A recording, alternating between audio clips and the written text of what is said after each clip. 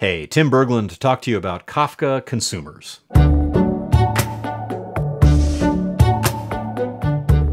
Using the consumer API is similar in principle to the producer. In Java, you use a class called Kafka Consumer to connect to the cluster.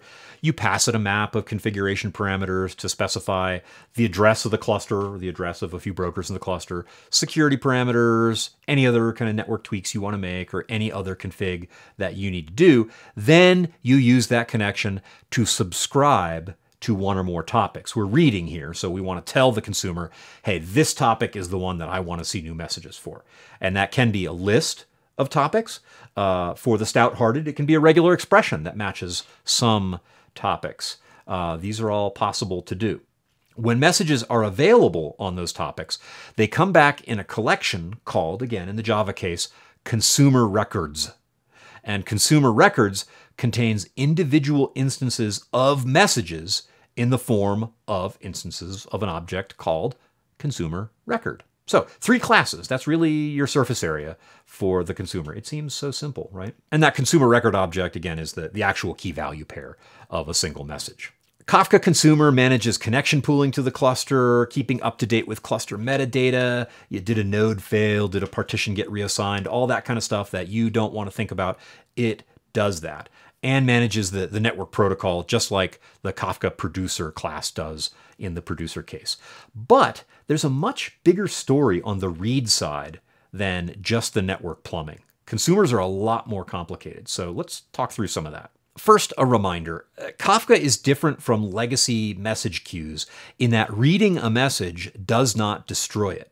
It's still there to be read by any other consumer that might be interested in it. In fact, it's perfectly normal in Kafka for many consumers to read from one topic. There's just nothing different that you have to do. You just write those different consumers, you have them subscribe to that topic, and away they go. They're all reading, and as they read, they don't destroy, they just read. Now, there's another thing consumers need to worry about. On the produce side, if I've got lots of event sources, I can have lots of producers writing into one topic.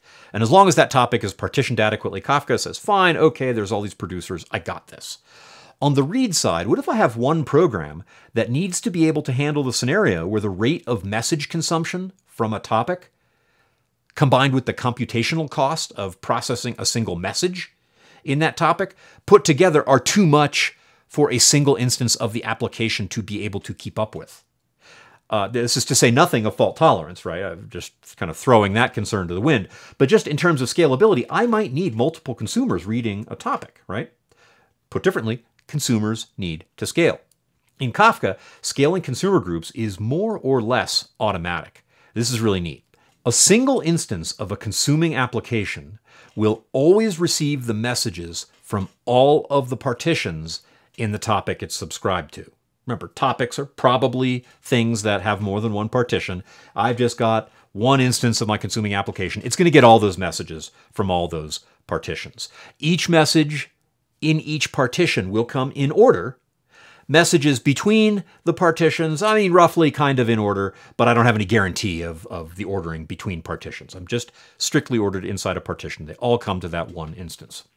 If I add a second instance of that consuming application, so same program running on a different server, a new container, whatever it is, doesn't matter. Just same program connecting, presenting the same group ID configuration parameter to the cluster. That triggers an automatic rebalancing process in which the cluster, the Kafka cluster, combined with those client nodes, they work together, they will attempt to distribute partitions fairly between the two instances, now two instances, of the application. So that rebalancing process repeats each time you add or remove a consumer group instance, whether that's by an operator initiated scale out, like I'm trying to add nodes because we're scaling and that's all good news, or something bad happens and a node dies and we need to reshuffle and, and see where the work gets assigned to.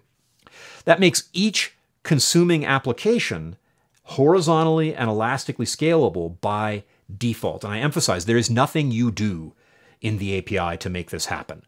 There's a parameter called group ID that you have to specify when you're, when you're creating the consumer, but you can't instantiate the consumer without specifying it. So it's not like you get a medal for picking the group ID. I mean, you have to do it. And there's nothing else you have to do to make this scale out happen. You can just keep adding instances of that consumer application for as long as you want, or actually as long as you have topic partitions to distribute to them.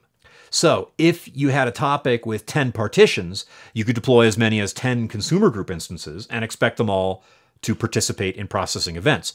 If you deployed an 11th instance, it would be idle because there'd be no partition to assign to it. Now, this rebalance protocol forms the backbone of a number of important Kafka features and provides critical and otherwise kind of difficult to implement functionality right out of the box. And it might help at this point to consider a contrast with traditional messaging systems. In a traditional message queue, you can often scale the number of consumers. It's not like this is a new idea with Kafka, but then you usually miss out on ordering guarantees altogether. And in Kafka, if your key is not null, you still have that ordering by key guarantee, which is preserved as you scale out the consumer group. In a traditional messaging, topic, remember topic and queue being different things in a legacy messaging system, uh, in a topic, you keep ordering guarantees in place, but then you sacrifice the ability to scale out consumers. In Kafka, consumer groups provide the ability to guarantee ordered delivery across an arbitrary number of consumers. So you get horizontal scale in the consuming application with the strongest ordering guarantee that is logically possible to preserve at scale. So there's a quick tour through Kafka consumers, again, an elemental part of the Kafka ecosystem. And this is an API, so it's gonna make a lot more sense if you get your hands dirty with some code.